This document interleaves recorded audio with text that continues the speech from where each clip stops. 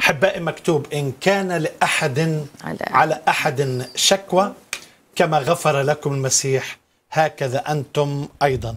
مسامحين بعضكم بعضا كما سامحكم الله بالمسيح. كم سامحنا؟ لها بتحتاج كل الأبدية لأنه هكذا أحب الله العالم.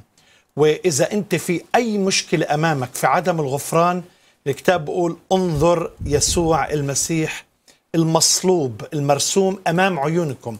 يعني لما بتطلع على صليب المسيح كل يعني ألامك وظروفك بتنحل. اغفر لأنه هذا شرط استجابة الصلاة. اغفر عشان قناة البركة تحل عليك. اغفر عشان تطلع من السجن. انت تتحرر. الرب يباركك.